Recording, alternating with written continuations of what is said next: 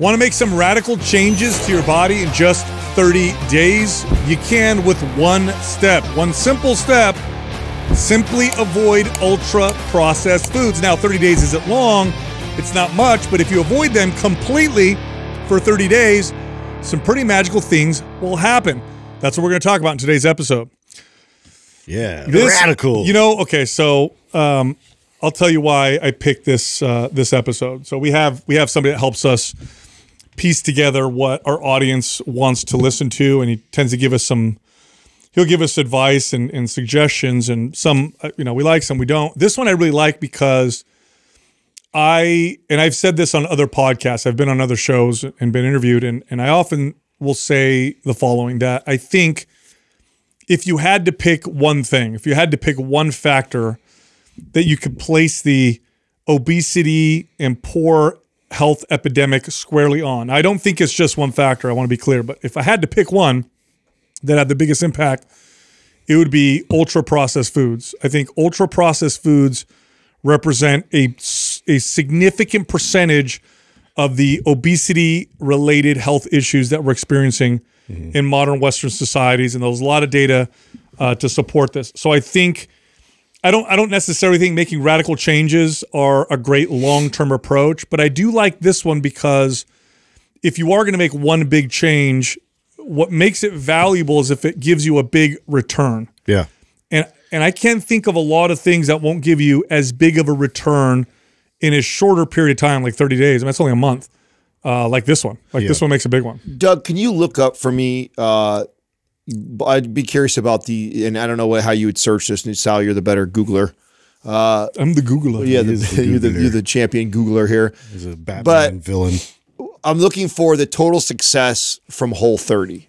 The company, uh, either general, like general, give me a general like revenue with how much they make per year or how many people they've This is a big part or- of what they do. this is and th- this is the point i'm gonna i was going to make was that uh, this is the uh, proof of what you're what you are uh, talking about right now is that this whole entire brand is built around this premise around whole 30 which is eating whole foods for 30 days and basically watch what happens by doing that. And i've had several family members that this is like their go-to whenever they get back in the swing of things is like because it worked so well. Yeah, it's simplicity, it's focused effort uh, into something that uh, transpawns it.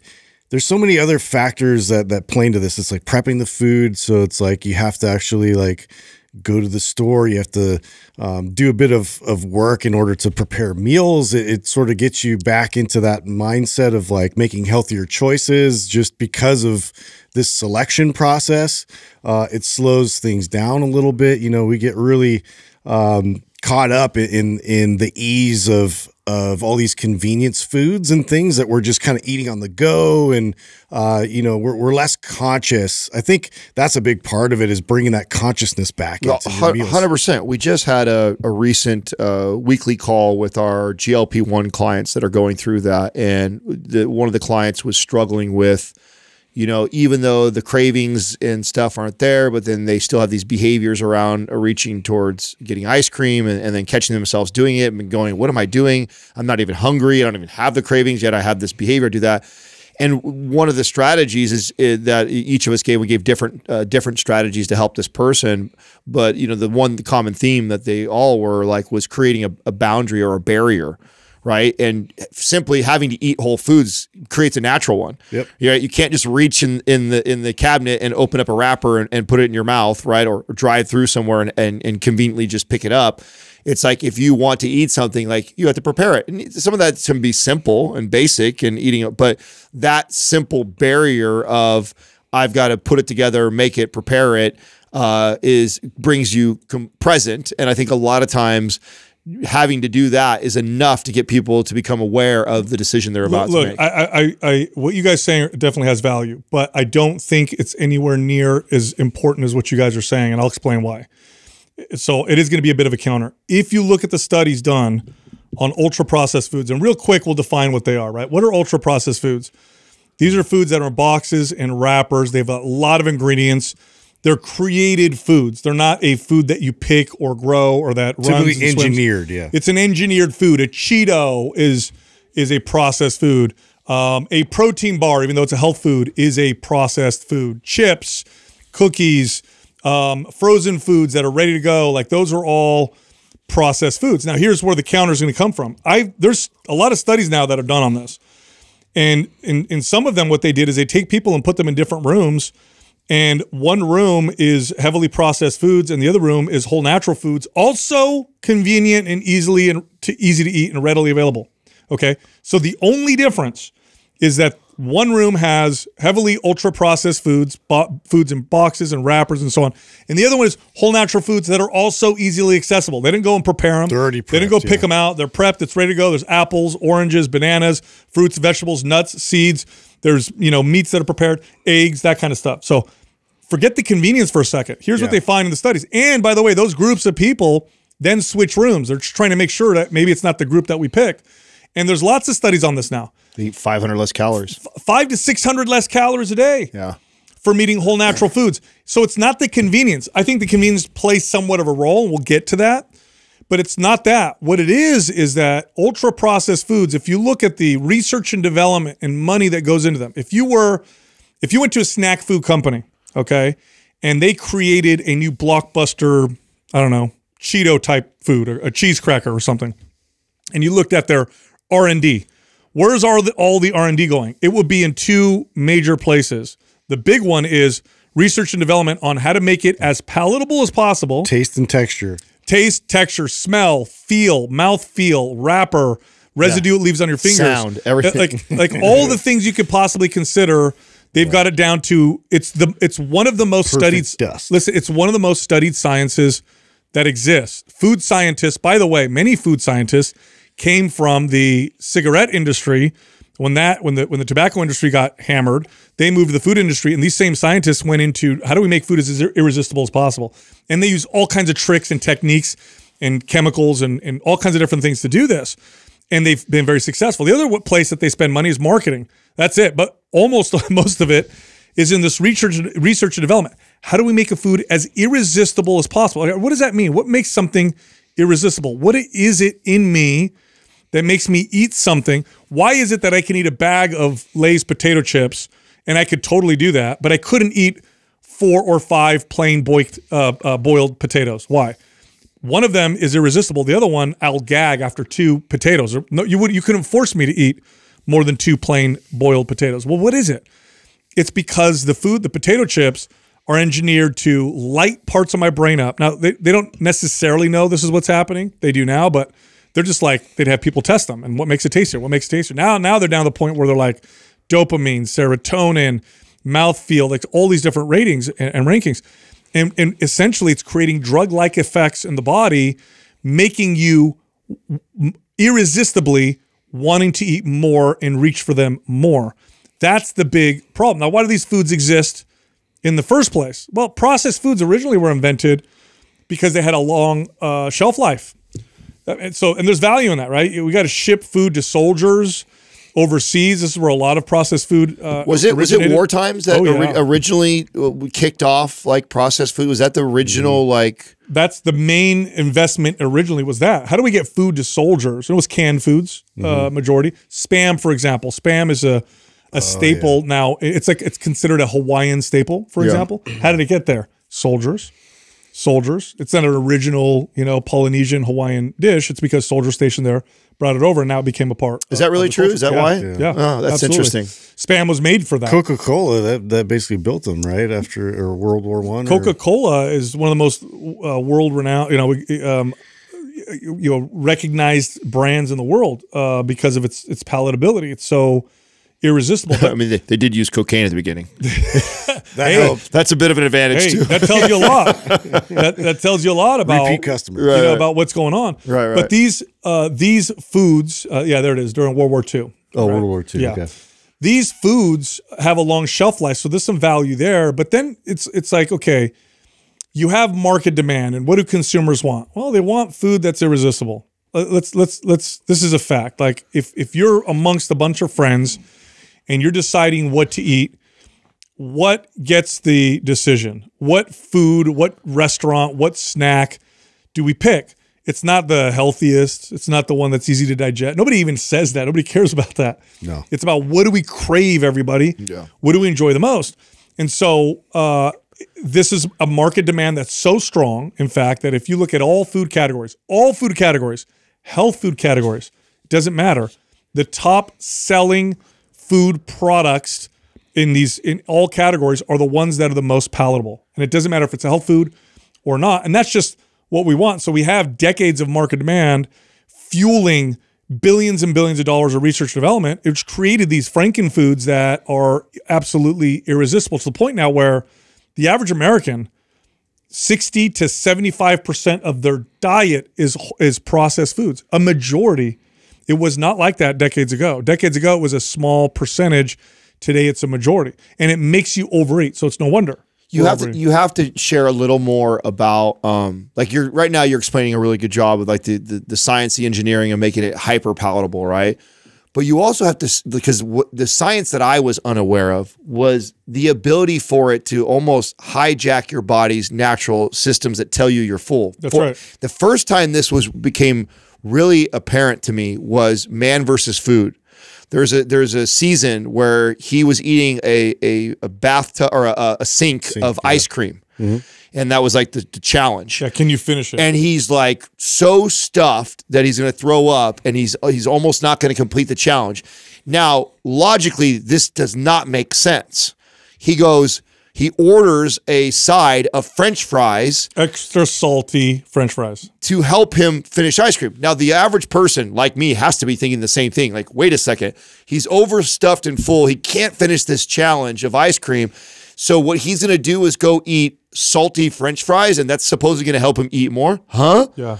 Like, you have to explain because I don't think people understand that's the type of research that's going into these foods. Novelty stimulus. So it hij- right. So not only does it taste amazing going down, Mm-hmm. but then it hijacks these systems that we have in the body that go, "Hey, you're full. That's enough. you don't right. need any more." That's right. So what happened in that situation is he he hit what's called palate fatigue. Palate fatigue is a combination of different things.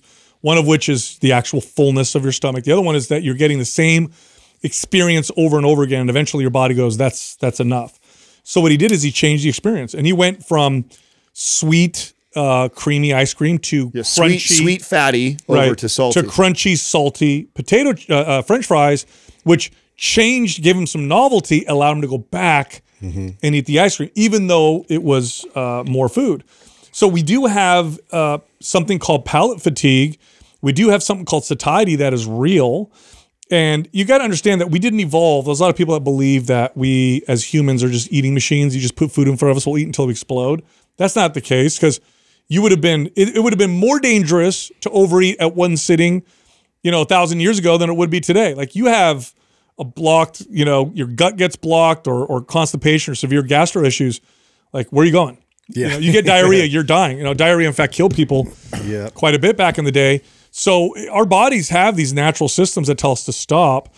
What heavily processed foods do very well is they surpass that to the point where you end up eating. This is what the data shows. When you eat ultra processed foods, you eat them faster and you eat them longer. You end up eating more.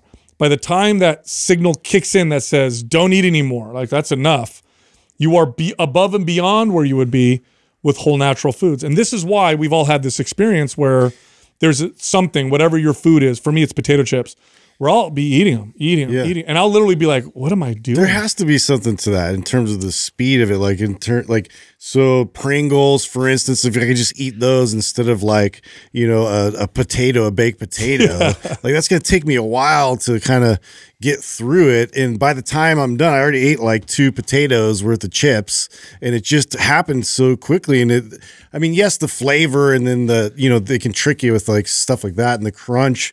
But uh, I, I honestly think too that's a big factor. Is just The- the mindless part of it. That's part of it. But the other part is, uh, you know, if I were here feeding you baked potato and someone else were doing a study where they were feeding someone potato chips, you would still eat less Yeah. of the baked potato. yeah. So um, it's literally these are foods that are largely engineered to become so irresistible that you overeat them, and that's of course, of course, they're going to be designed that way. That's what they're they're trying to do is sell more product, and you as a consumer buy more of this product.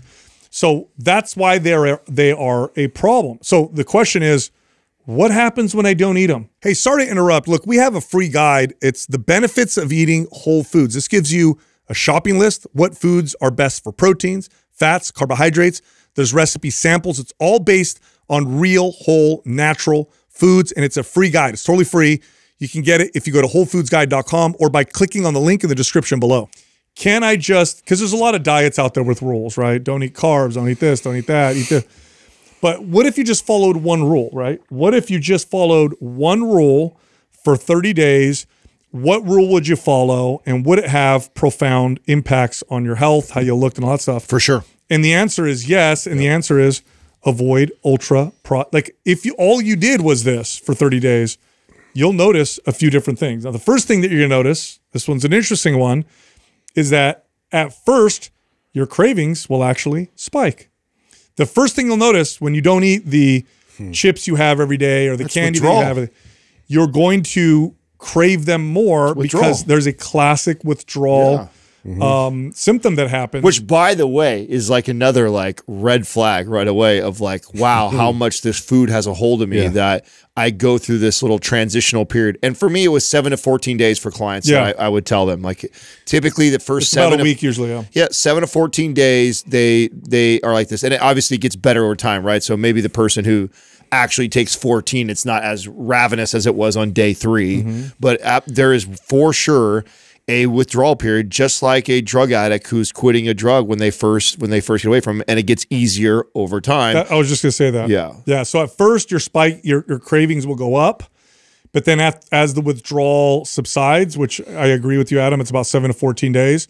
So about a week to two weeks into this thirty day trial, you'll find that your cravings will then drop, and you'll find that you'll start to actually taste food differently.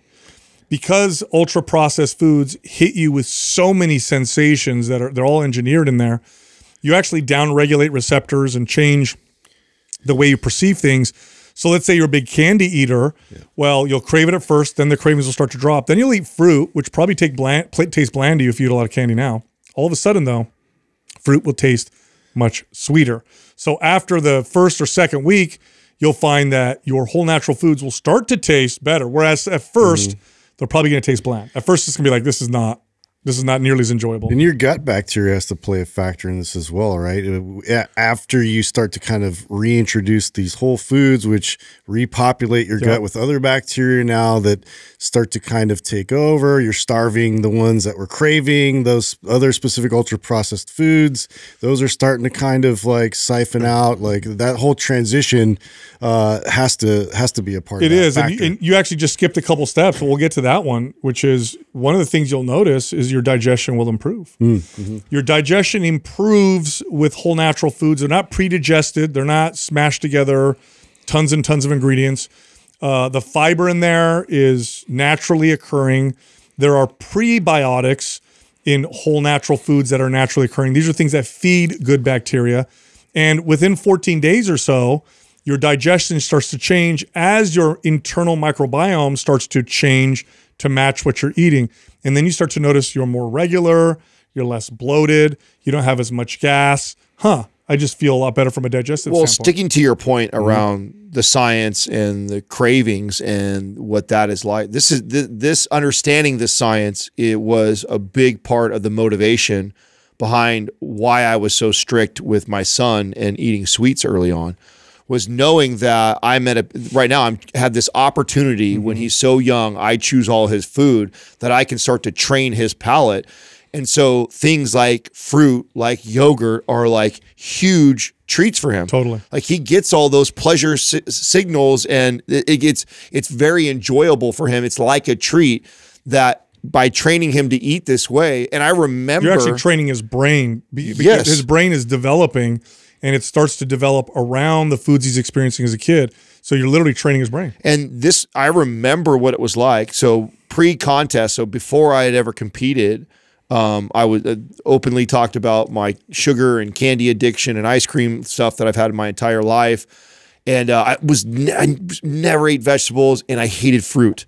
I thought fruit tasted so bland and plain that I never understood people that craved fruit. I was just like, oh, I just must be me genetically. I don't. It wasn't until I eliminated all that processed food and ate like this for a period of time, and then all of a sudden, like all those, it's like I opened up a whole category, two categories of foods I had no idea that I could like and it was all because I had been slamming my my my flavor palate with highly processed sugary foods for so long that something that has natural sugar in in like fruit and vegetables was just like Here, tastes like I'll, nothing. I'll give you an example to back you up. Right? We can all we all know what a strawberry tastes like. Do you guys know what candy strawberry tastes like?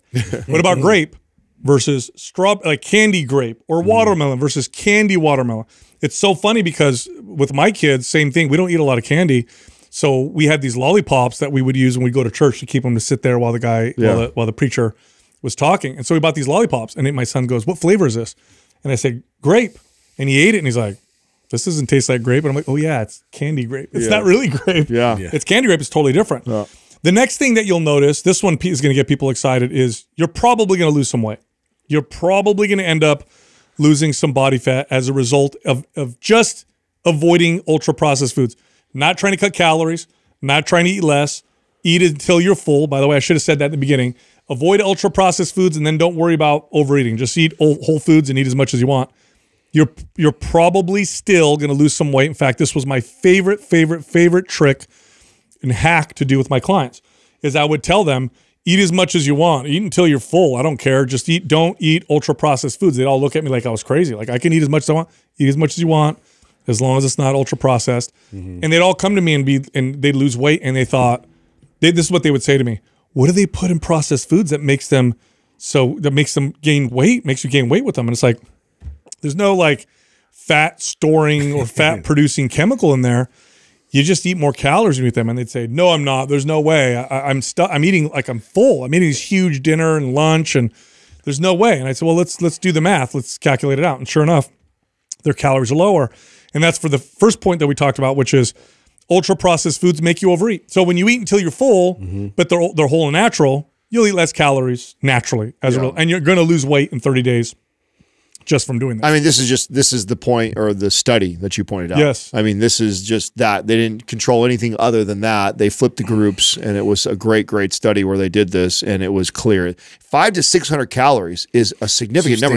I think people need to understand that That's the- how much you normally put cut someone's calories. Like lose the weight. average the average woman gains weight on like 1800 calories Yeah. so if you think about that then you're talking about a third of the calories in a day that someone would gain weight on is insane and then the average i think male is like 2500 or somewhere in that range and so you're talking about a large percentage of your daily caloric Surplus intake just keeps adding yes, every day. Yes. So that is just a testament to that alone. And this has been uh, proven with every client that I've ever been able to do this. This is why this became one of my go-to like first like initial tips of telling clients just stay away from that. It also does something you have to you have to talk about uh, the, the the psychological behavior thing that we've we've learned as coaches and trainers for so long is that there's something to be said about telling a client that they have all this freedom to eat and choose whatever you want so long as it's whole foods. Yes. You're not putting these like restrictions of like even though you are restricting them to nothing but whole foods and saying no processed foods. You're also saying eat as much as you You're, want. yeah, you're also saying I'm not going to tell you weigh or measure. You can't have this. Like just do that, and let's start with that. It still gives them this feeling of mm-hmm. They don't feel free- confined. That's right. They don't feel confined. They don't feel restrained. They don't feel they like they are restricted to only a couple foods that they can have. They're like, well, as long as I it's a whole food, like okay, that seems fair and, and, and logical. So there's a psychological part that's extremely beneficial to using this as a strategy. too. Totally. Hey, sorry to interrupt. Look, I have a free guide that teaches you how to lose fat in three steps, just three steps that will burn the most amount of body fat and help keep it off. This guide is totally free. We're giving it to everybody right now. If you want it, click on the link at the top of the description below. All right, back to the show. The next thing that you'll notice okay, so you lose some weight, your cravings spike, but then drop, your digestion improves. You'll probably also build some muscle. Now, of course, you should be strength training while you're doing this, but you're probably going to build some muscle. All right, what is it about whole natural foods that make them so muscle building? Well, it's not necessarily the magic of whole natural foods. It's that most processed foods are low in one key mac- macronutrient, which is very important for building muscle, and that's protein. Mm-hmm. If you go through the processed food aisles of your grocery store, which is a majority of them, and you were add up all the macronutrients, the carbohydrates, fats, and proteins, what you'll find the lowest is in protein. Besides protein bars and shakes, that's it. Like uh, the rest of them are mostly carbohydrates and fats. Um, you're not going to find lots of proteins. Protein is is a bit of an expensive nutrient. It's also a more difficult one to turn into a hyper palatable snack. Here's why, by the way. Protein is satiety producing, or, or, or it, it really does make you feel full. Defeats the the snack category. Uh, you know how they engineer it. That is a killer in the snack food market. If I'm if I'm in a quick. if I'm in a boardroom trying to create a snack food, and I'm like, let's make a, a high protein snack food, they're gonna look at me like I'm stupid. Like why? Why would we do that? Finish the bag. Unless we're trying to target people who want to eat more protein.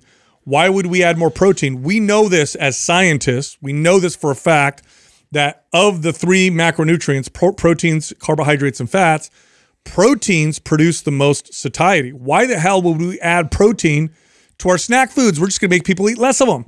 So, vast majority of your ultra processed foods are low in protein. So, a high ultra processed food diet is also simultaneously a low protein diet. and high carbohydrates. A high whole food diet that's omnivore, okay, I got to throw that in, for the most part, tends to be a higher protein diet. So, what you're going to find is naturally, without necessarily trying, although we'll give some tips at the end here to make this even more effective, you're probably going to bump your protein while dropping your calories, more muscle, less body fat. Sounds like a nice result. I also think that part of that is because it's uh, your when you're eating whole foods, some of the more palatable foods are healthy fats paired with protein. Yeah. So when you when you've That decided also looks like a meal. That's Like, why yeah. wouldn't When you that when you when you decide, okay, I'm going to go on this no process all whole foods. Well, that doesn't that means things like steak and chicken thighs and bacon and sausage and some of these foods are now accepted as foods that I can eat. And it's like, Mm-hmm. hey, those are tasty, good foods. They got healthy fats in it, and so they're desirable. You're not getting filled up by this, you know, cracker, you know, carbohydrate type of food in the box, and so naturally you tend to eat more protein, and that's without the advice that I know you're going to end up getting to because I know that we all have a strategy of what we would tell our clients that eat whole foods and do it in this order, and it makes a world of a difference of hitting that By protein. the, by the way, just to kind of hammer that point home, you know, uh, jerky is technically a processed food. Long shelf life comes in a bag. I don't. Have you guys ever met anybody that overeats jerky, where jerky becomes the There's problem? always at least half the bag left. It- It's because protein produces satiety. But when you eat whole foods, when you're constructing a meal, and I just witnessed, look, I just observed this on my clients. When my clients put together meals on their own without my influence, they tend to include some kind of a protein because I think we know naturally, uh, inherently, that that's a complete meal. So they tend to include some chicken or fish or eggs or steak or something uh, along those lines. All right, last thing you're going to notice in 30 days if you quit ultra processed foods is that your skin will begin to clear up. Now, I'm not just saying this because I noticed this from observation, although I do, and my clients would always remark on this. There's actual data to support this. They've actually done studies on this, and several studies suggest that your skin begins to clear up when you're eating a whole food diet. Now, why? It's probably related to the improvement in your microbiome in your gut. There is a connection between the microbiome in your gut and the microbiome on your skin. Um, and also, there's a reduction in inflammation from a few different reasons. One is a reduction in calories that tends to reduce inflammation anyway. Improved digestion that also reduces inflammation. And also the preservatives and chemicals that are put in ultra processed foods to increase its palatability, either to make it look better, smell better, feel better, or taste better, or just last longer. Some of these can cause inflammation in some individuals, and combinations of these can cause inflammation in some individuals. So it it starts to become a redu- a lower inflammation diet as a result. Inflammation definitely plays a role in skin problems. I was going to say that's probably the the most uh, common reason, right? It would be simply that most uh, skin issues are either autoimmune or liver type of stuff, and both your gut and liver are when you are in a state that is inflamed are going to be stressed. Yep. And more likely going to have your skin issues, where simply being in a five to six hundred caloric deficit eating foods that are not highly palatable and processed right away, I would think that that would just just for those reasons. Not to mention what because I know there's a lot of um, th- there's a, a lot of people that believe that there's chemicals or certain things that are in the processed foods that are pot- potentially causing that, but it's most likely due to the overconsumption of, of calories and food and then the I, inflammation. you know, it's a combination of all those things because you're right. Some people are more sensitive than others, but it's really hard to say when you, you know, if you you can identify or study individual preservatives and color additives. By the way, um, some color additives now have been established to induce, dye, yeah. yeah, like, like to induce hyperactivity in kids. Yes. Or I noticed in my kids, I noticed a difference with certain ones. Um, but what we don't know is the milieu or the the mix and combination of all these different things and how that affects a lot of people. But there's lots of speculation. Again, there's studies that have done this and they see improvements in skin. And in my observation with clients, they tend even the, by the way, clients don't tend to go on this diet or do this because they're trying to improve their skin. They don't hire me for that. They tend to hire me to get in better shape.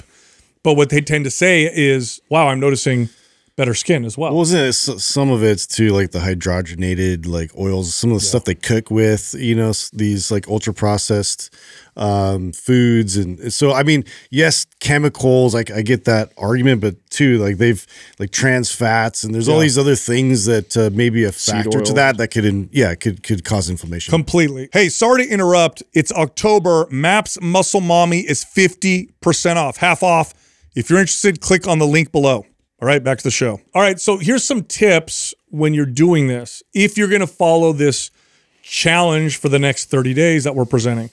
Number one, um, make sure you always have a protein with your meals. So when you're preparing your whole natural meals, throw a protein in there, like eggs, chicken, fish, beef, cottage cheese, cheese, milk, you know, uh, all the, the the traditional sources of protein. Throw them in there because that'll really ramp up the value that you're going to see from this in 30 days. Well, and the next layer to that, and what I know we would all recommend on this is eat it first. Yeah, eat the protein first. Thanks. So just simply making sure it's in the diet and saying, I'm going to eat that first. And this strategy was so powerful for me. And it always used to blow clients' mind because they're like, wait a second. I'm like, well, how much of this can I have or how much of that can I have? I'm not going to tell you how much you can or can't have of that. I just want you to do this for me. Make sure you eat whole foods. Every meal, make sure it's centered around a protein and eat it first. After that, if you're still hungry, enjoy enjoy the carbohydrate, enjoy the other things that are that are with the dish. Just eat that first. And that strategy alone served my clients so much. now That's that, why the restaurant industry does it the opposite order. That's right. It is. they don't you serve the you. chips They don't the serve you bread steak first. first. Yeah, yeah, yeah. They want you to increase your appetite. That's right. Uh, next is to pre-make your meals. Okay, so one of the potential disadvantages of whole natural foods is they require some prep. Now, this isn't true for all of them, right? Like fruits, uh, some vegetables, uh, certain dairy products you could just eat. You know, you know, a container of cottage cheese is, you know, you throw some fruit in there, boom, boom, you got yourself a meal. Can of tuna fish, you could throw it in a bowl, add some mayonnaise, has some fruit on the side, some vegetables, pretty quick. But uh, oftentimes, getting a meal means requiring some prep. So go ahead and pre-make your meals because the thing that will get in your way most often over the next 30 days if you follow this is if you run into a situation where uh-oh i don't have food i got to go to the vending machine i got to go buy something uh, over there and now you're off this 30 day challenge or whatever I can't stress that enough. One of the one of the uh, most challenging parts of this because everybody will probably have this within the week, and especially when we're talking about that first seven to fourteen days, when the cravings are really strong, and then you don't have kind of your meals planned out for the day. This is when when most people fall off. Yep. Is oh they decide I'm going to do this whole this whole thirty thing, and I'm going to stick to the whole foods for the next thirty days and they have a good start to the first few days and then the first challenging day happens it's day four or five into this cravings are really starting to mm-hmm. kick up because they've they've kicked out this processed food and now they have their first busy day where it's like they had to work for five hours straight they didn't get a break and then they don't have something in front of them to eat and then they go ah and then they, that's where they make their decision to drive through somewhere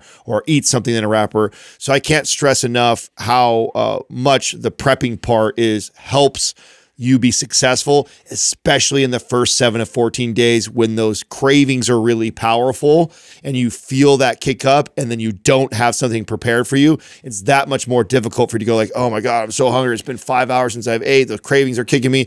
And now you're telling me I need to go to the grocery store and go put something together and, and make mm-hmm. it where I could just pull over real quick and go through drive through here. This is where most people uh, fail. And if you at least plan to have your meals out and you make them, this will really help you be successful in this. Totally. Lastly, you're going to probably, uh, unless otherwise instructed by your doctor, you're going to probably want to add electrolytes to your water. Um, and the reason for that is ultra processed foods are all very high in sodium. And so this automatically is going to dramatically lower your sodium.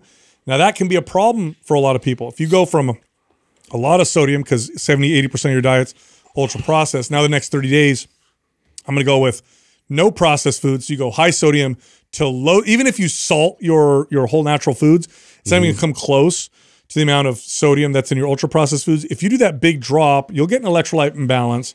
And then you'll notice headaches, fatigue, muscle cramps. And a lot of people explain it away and they say things like, oh, I'm going through withdrawal or, oh, keto flu. Or- no, no, no, no. You just add some salt uh, to your water, add some electrolytes to your water, and you'll feel a lot better. I, I this nine out of ten times when I had a client do this, I would have mm-hmm. them add electrolytes to the water. Otherwise, they tended to fall, you know, fall into some. I've problem. especially noticed this in my real active clients. Definitely, know, that went from the ultra process to now like Whole Foods. It was like wow, the dramatic uh, increase in their performance once they added those electrolytes. I think most everybody is going to need to do this for the most part, unless there's an exception to the rule, like medically, right? Something going on uh, is going to benefit from this. Definitely a must for the people that know that like they're like I eat a lot of processed foods. I eat out every single night or multiple times a day that person is going to have a dramatic shift in the amount of soda. Even if they salted every one of their meals like a lot, it doesn't even compare. It doesn't even come close to what it looks like if you were eating out every day or multiple times a day. So that person, this is going to be so so important. Totally. All right, a couple um, things I'd like to add to this: um, sandwiches are not whole natural foods bread in general, probably not in the category of whole natural foods. And a lot of people are like, oh, okay, I'll, I'll have a sandwich. That seems like I'm preparing it. Probably not. Good sources of carbohydrates, rice, potato, beans, fruits, vegetables, proteins, uh, you know, uh, chicken, fish, beef, eggs, dairy, all good sources. Um, nuts and seeds are great as well. Those can get overdone pretty quickly. So you don't want your whole natural food diet to be like based off of them. But um, other than than that, I would say uh, just eat the whole natural foods. Avoid all the processed stuff. I would stay away from breads and sandwiches. And the reason why I'm adding that is I've had clients do that where they're like, I'm I'm making sandwiches every day. Like, yeah. Oh, that oops, that doesn't count. Yeah. Not to mention, it's it also eliminates the other tip where we say eat the protein first and have like it ends up being a high carb high carb That's meal. Right. A sandwich is more carbohydrates than it is protein. Most sandwich, even your large Subway sandwich from Togo's or whatever favorite you know Subway place that you would go to, is four ounces of meat, which is yes. like hardly anything. Tiny. So 80% of your calories are coming from carbohydrates, very little is coming from protein. So it's not a protein rich meal. And since you said that, I want to give the alternative for people is like rice bowls are like used to be the go to, or salad bowls were like the go to move for me to help clients that were used to having a quick, convenient sandwich for lunch every single day. And there's so many places now, like the Chipotle type of places and the Baja Freshes, that you can go get a chicken, steak, rice, yeah. in a rice, potato, yam type of bowl that are really good tasting, really easy and convenient, and or those are also easy to build and make in bulk. Like my favorite thing to do for Katrina and I, this is what I mean, literally what I ate today. You saw my we actually used it in a crock pot. We do a bunch of like, you know, we do a couple pounds of chicken thighs in the crock pot. So like it makes it really, really tender and soft. And then we shred it all up and we make this like cilantro, almost like a, a burrito without the tortilla. And it's just rice. So it's just rice, chicken, cilantro, some tomato slices slices, even a little bit of avocado in there, and basically make that into a bowl, like these like burrito bowls minus the tortilla, and you just you put it in the rice. Great, great choice. Yeah, and I mean, what you're doing too is you're just cooking one big meal, and then you have meals. Yes, all, all set up for the entire week. That prepping like that and something simple, easy, also inexpensive. Rice and chicken thighs you can mm -hmm. buy in bulk and are, are relatively inexpensive to do to do that. And uh, you can even add some black beans if you want to kick up the protein and some flavor in there. Like great, great choice for a, a staple lunch every day for somebody. All right, I know you liked that episode. If you did, check this one out. 30% body fat. For men, this is way too high. This is actually a bit high for women as well. So in today's episode, we're talking about how you can go from 30 to 10. What is 10% body fat? This is when you have a visible six pack. Can you go from 30 to 10%? Yes, it's possible, but not if you guess along the way. So we're going to talk about how you can do that in today's episode. Now, there's a huge range, right, of like body types. Yes. Some people can run uh, a little bit heavier uh, and or a little bit higher body.